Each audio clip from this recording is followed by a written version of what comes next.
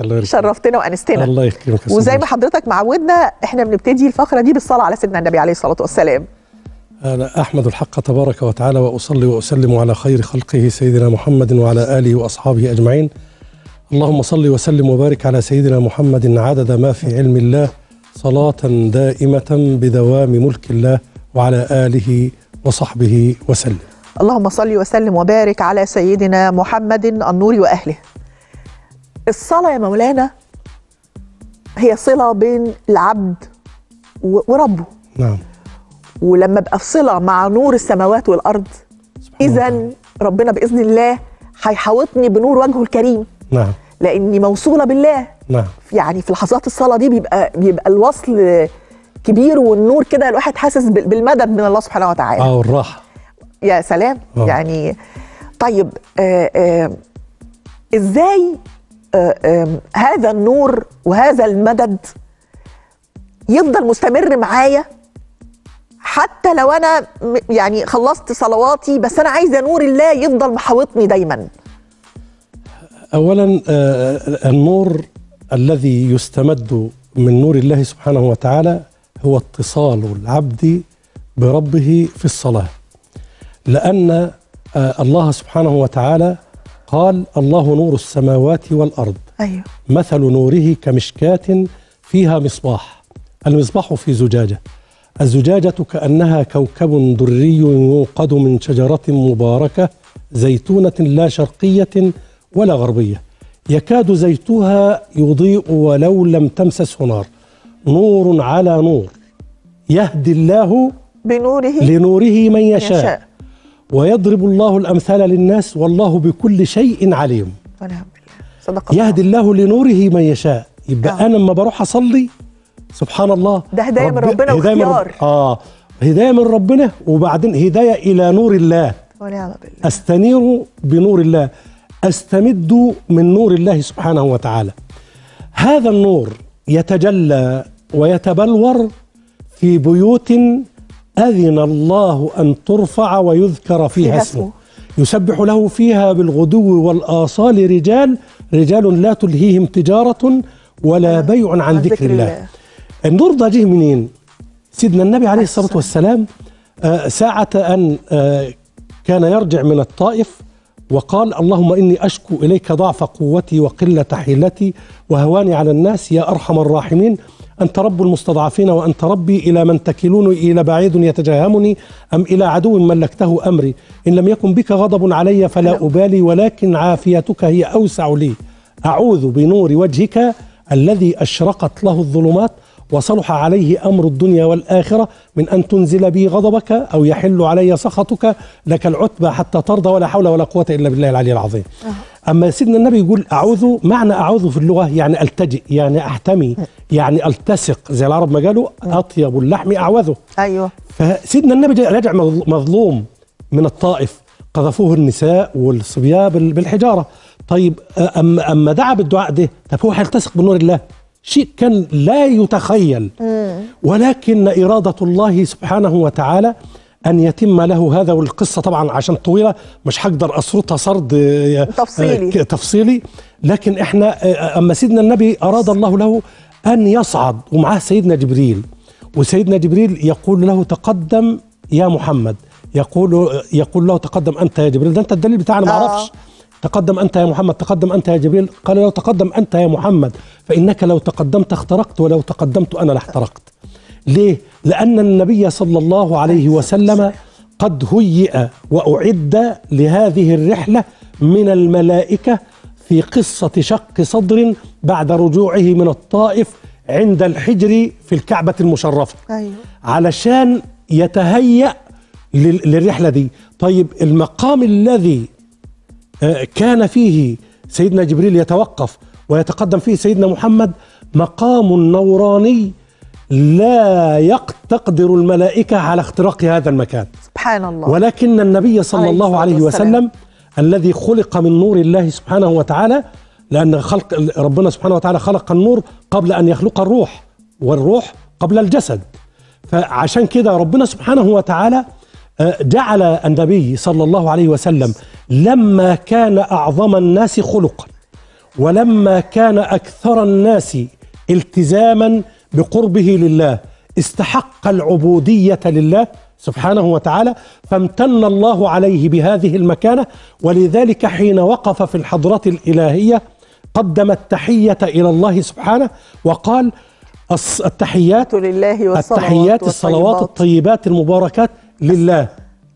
فقال له الله السلام عليك أيها النبي. ورحمة الله ورحمة الله وبركاته. فقال النبي صلى الله عليه وسلم السلام علينا وعلى عباد الله الصالحين. لم ينسانا في هذا الموقف. الملائكة تتعجب التي اعترضت على خلق آدم وحين أمرهم الله بالسجود قالوا أتجعل فيها من يفسد فيها؟ ويسفك الدماء ونحن نسبح بحمدك ونقدس لك. قال إني أعلم ما لا تعلمون. فالله سبحانه وتعالى حين رأت الملائكة أن النبي صلى الله عليه وسلم لم ينسى أمته وهو في هذا المقام قالوا نشهد أن لا إله إلا الله ونشهد أن محمد محمد رسول الله. وهنا فرضت الصلاة فكانت نور كما أخبرنا المصطفى صلى الله عليه وسلم وكما قال الله في سورة النور أن هذا النور يتجلى في بيوت أذن الله أن ترفع.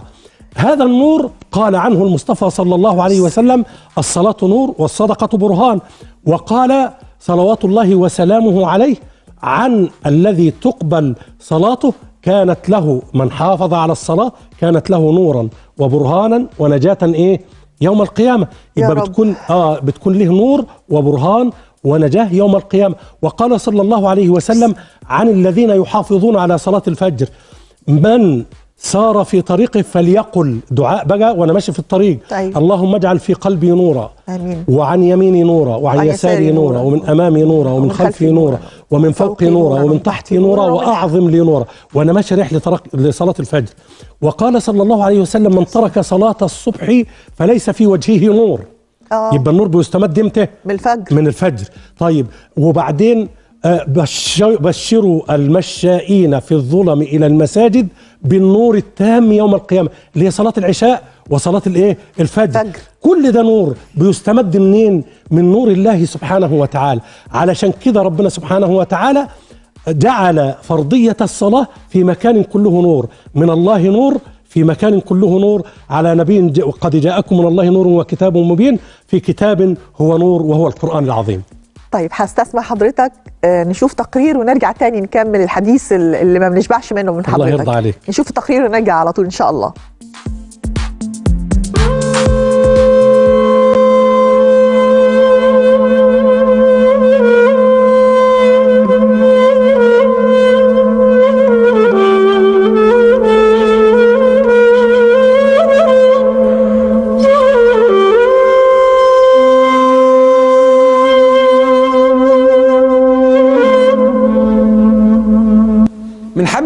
المساجد زي ما عودناكم كل مرة.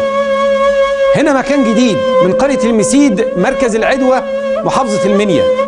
النهاردة جينا المكان جديد لمسجد الأنوار المحمدية. مسجد الأنوار المحمدية هنا بيشتكي إلى الله ما فيه.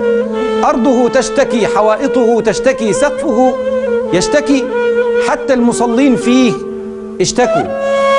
المسجد ده مسجد اسمه مسجد الأنوار المحمدية. المسجد ده مضموم لوزارة الأوقاف. آه، المسجد ده في صلاة الجمعة بيجي عدد كبير مهول. في ناس ما بتصليش الجمعة خالص فيه. ما, ما, تلقاش مكان يعني. آه، بالنسبة للميضة واخدة تلتين تلت مساحة المسجد بالظبط وملهاش أي قيمة حتى الميضة يعني غير صالحة للاستعمال الادمي بالظبط يعني. نزل المطر على الحصر وعلى الفرش ما عرفناش نصلي. دي نمرة واحد. نمرة اتنين أحيانا. لما نبقى ناس غريبة ماشية بسيارة و هيخش الميضة يلاقي الميضة لا تصلح. ولما يبقى ناس كتيرة المكان لا يسيع المصلين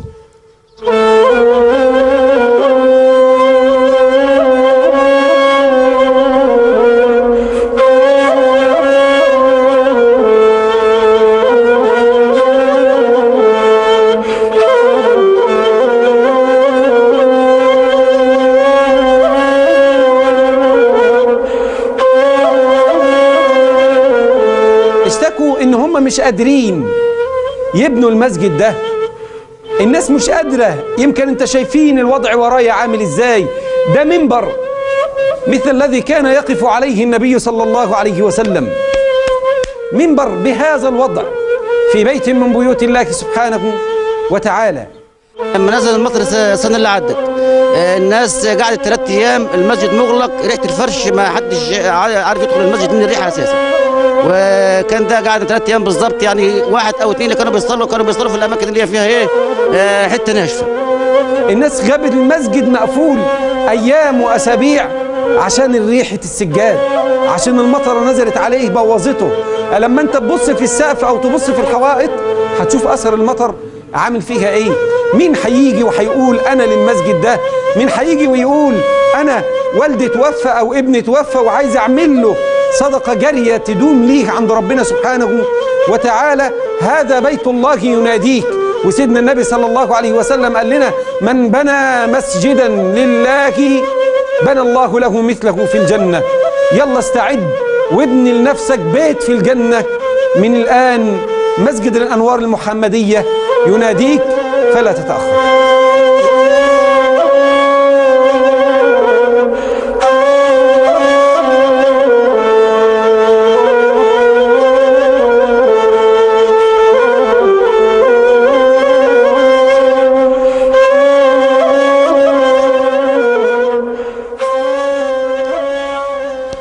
مسجد الأنوار المحمدية.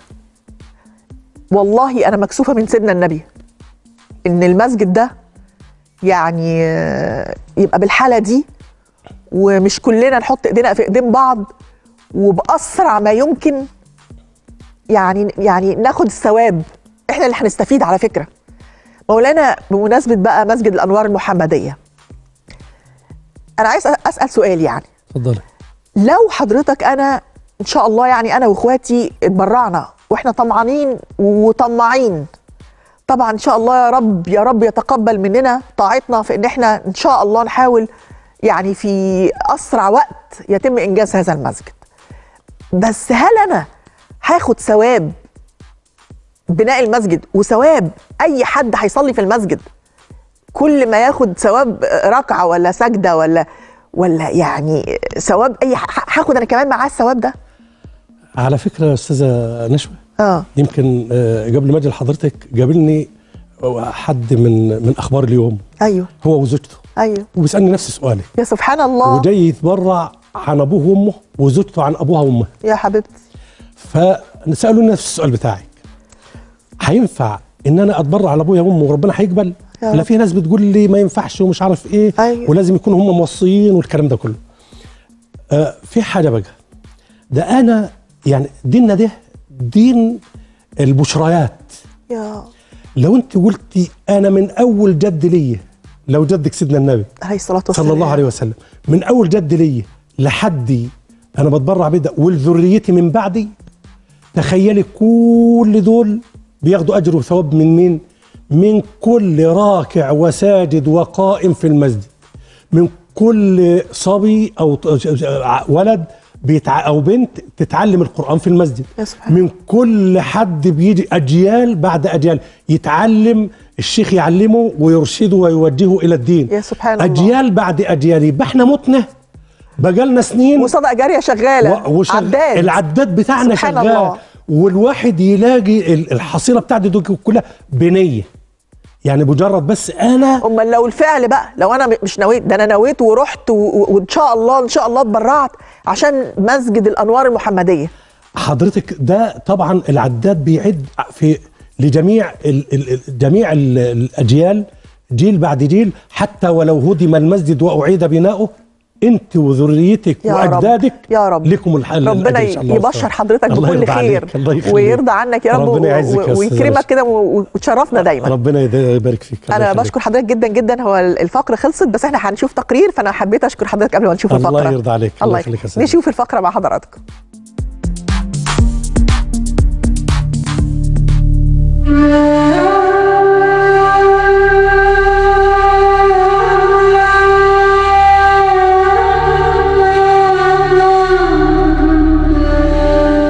المسجد زي ما أنتم شايفينه ده المسجد اللي إحنا واقفين فيه.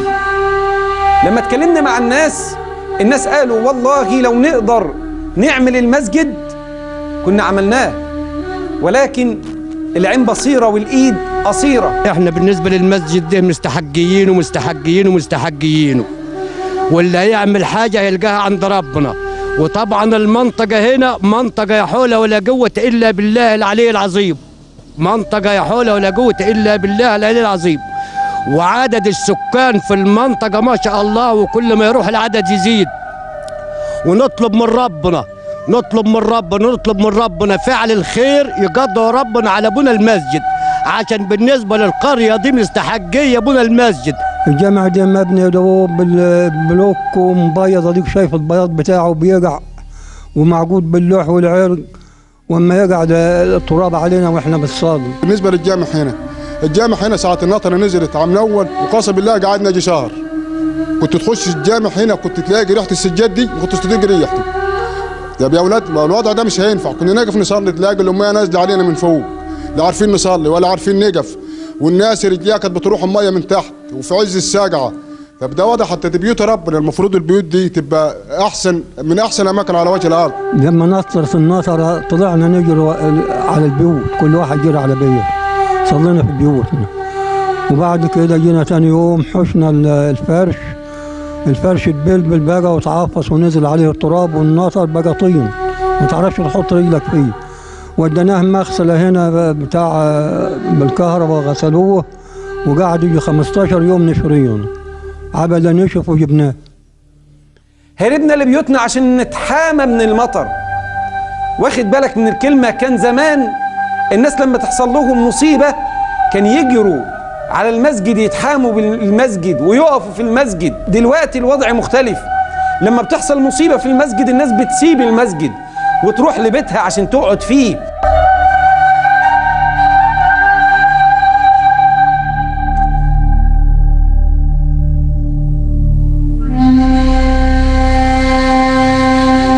بالنسبة لاهل الخير ربنا يجازيهم خير. ودي ربنا يجعل في ميزان حسناتهم وبعدين أنتم زي ما أنتم شايفين وضع الجامع حتى الوضع هو باين قدامكم. الوضع بنبقى واقفين نصلي التراب نازل علينا من فوق. بيجي الشتاء النطرة بتنزل علينا من فوق. فاللي بيعمل حاجة طبعا بيلاقيها عند ربنا.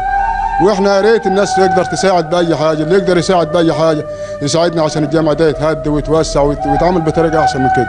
إخوانك هنا في البلد دي محتاجين فضل ربنا اللي معاك عشان تبني لهم بيت ربنا اللي زادك من فضله ووسع عليك لا تبخل على نفسك وكن من المساهمين في بيوت الله.